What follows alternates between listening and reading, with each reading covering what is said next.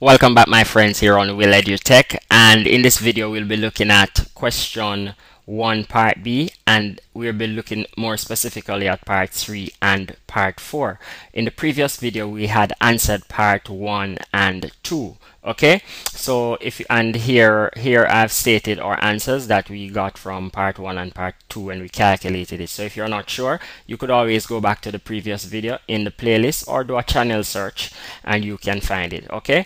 Good. Now here they're stating to earn some extra money the typist or typist here okay? The typist decide to work overtime which makes sense because when we calculated um, her basic weekly wage, it came out to $900. And I mean, if you're speaking about Jamaican currency, uh, this wouldn't be a lot of money. You know, this would be a little bit of money. So definitely, I see we can see why she's working some extra hours to get some extra money.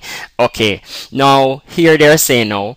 uh, we're, they're asking us to calculate the wage she would earn for overtime if she worked for a total of 52 hours during a given week. So here, let me just I highlight some very important points. Here they're asking us the wage she would earn for overtime and this is what is a critical thing.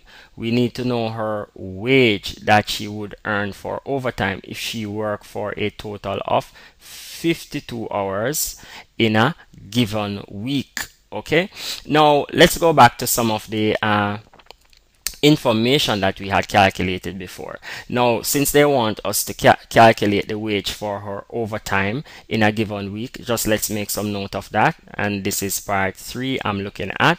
So here I can say wage for overtime.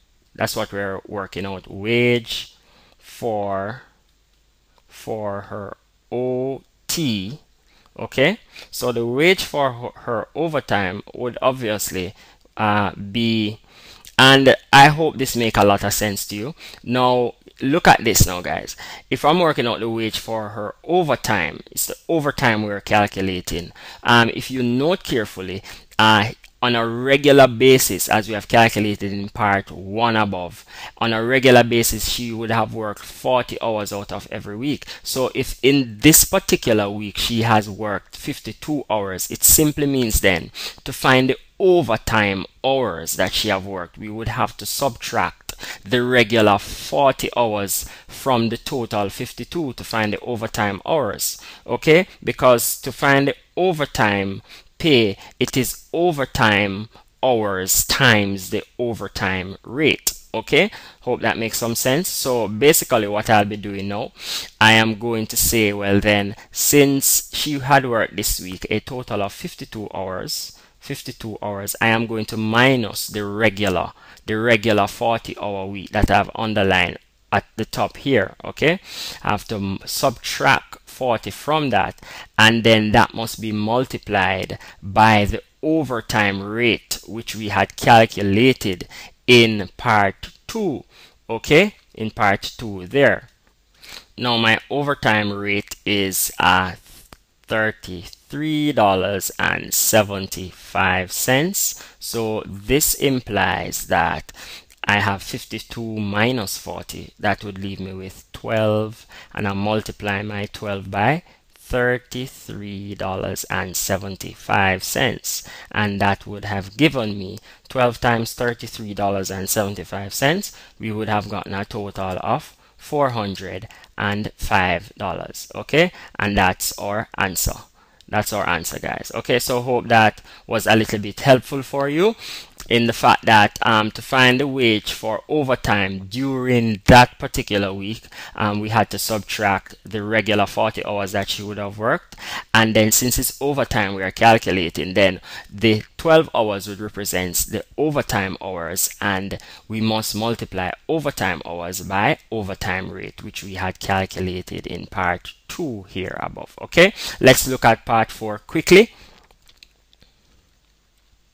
Hi guys, now my friends, let's continue.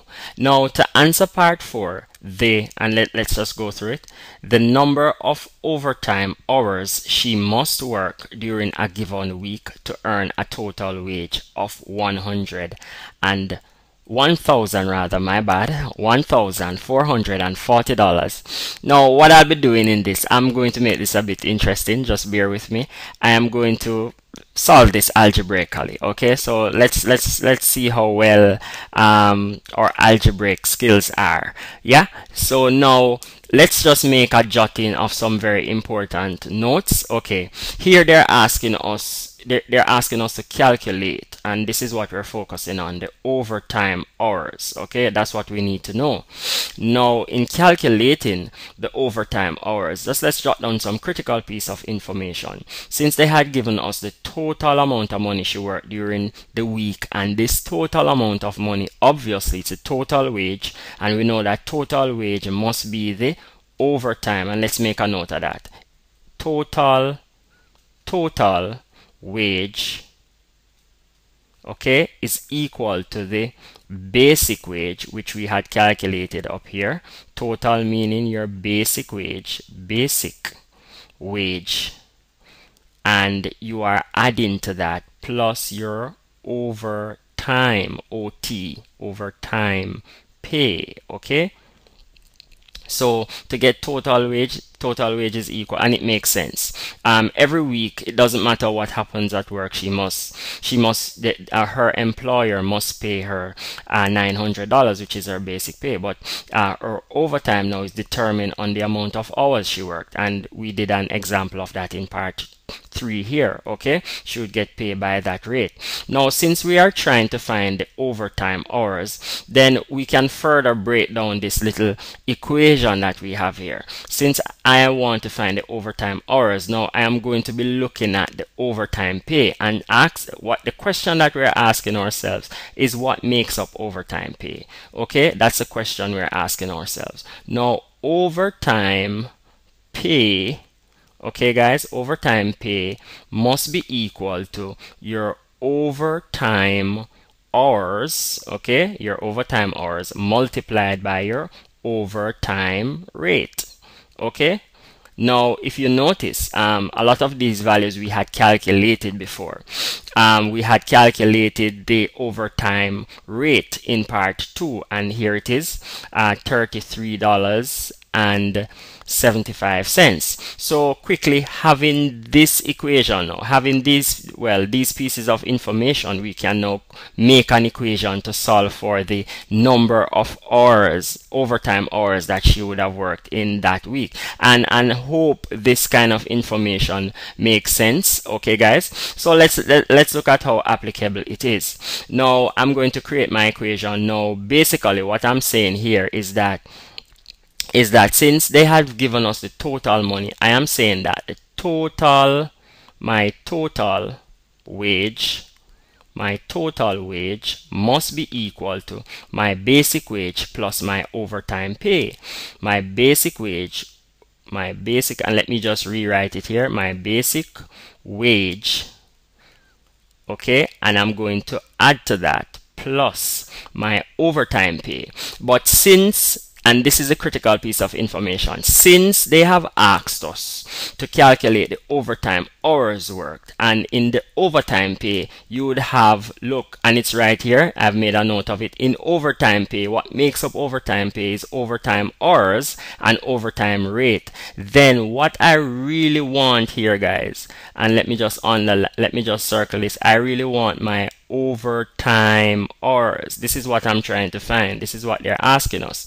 So because overtime pay makes up um, um, since overtime pay is made up of overtime hours times overtime rate, then really I could put in bracket here instead of writing overtime pay, I could write what overtime pay really is. Another uh, expression for that. So overtime hours okay multiplied by my overtime rate okay hope that that this is not too much for you now. But you know just just just just testing your algebraic skills. So having this equation now okay guys um we're going to be substituting values and see what we get out of this. Now quickly let's substitute. We have a total wage. They gave that to us. We have a total wage of 14 so let's just substitute 1440. Okay? And that must be equal to we have the basic wage. We had calculated the basic wage in part one above. And let's just uh, underline that in red up top. That's the 900 there. So we have that. So let's just put that in our basic wage per week. It doesn't matter what happened. She must get $900 and I'm adding to that okay what I'm adding to that now is the overtime hours times the overtime rate. But if you notice carefully we had gotten our overtime rate already. Uh, our overtime rate we had calculated it here to be 33 dollars and 75 cents. So here now I can just by substitution say my 33 dollars and 75 cents is multiplying my overtime hours. So with this we can quickly we can quickly solve this equation. Hope you see all the values that I have substituted and the whole concept behind it. Okay guys, so let me just pull this up a bit. Good. That should be fine. Now all we're doing is just to solve this equation. Now really here I have a 1440 okay so let me bring down my 1440 now if you notice what is happening 900 is being added to all of this 3375 times overtime hours. So um, basically by transposition, I'm subtracting 900 from both sides. So here I'm subtracting 900, which is equal to um, this 900. So what I do to one side of my equation, I must do to the other side of my equation. So I had a 900, so I have to subtract 900. A positive 900, so let me just write this first, 33.75 times OTRs. Okay, OTRs is what we're trying to find. So a positive will cancel out with a negative, and 1440 minus 900 will leave us with a 540. So I have a 540 here, and that is equal to what I have left here is a 3375 and that is multiplying my overtime hours okay?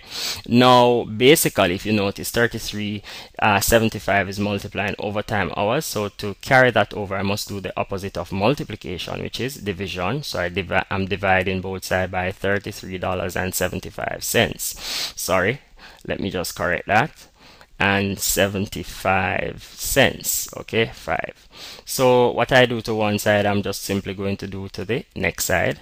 So 33.75 so 33.75 will cancel out with 33.75 so what I have left here is my overtime hours. So therefore my overtime hours is equal to and I have 540 divided by 33 0.75 or 75 cents and I would get a 16 hours. Okay my friends? So this would work out to be 16 hours. And you can try it for yourself. I'm sure there's a lot of other ways to work this out. It's pretty interesting to use algebra to solve this question. We have our overtime hours and that is equal to 16 hours. So basically what they're saying here is that uh, she for her to work 14 1440 dollars she would have to work uh, 16 hours of overtime during a particular week. That's simply what they're saying. Uh, feel free to leave a comment or a question if you're not sure about something and we'll get back to you as soon as possible. Bye bye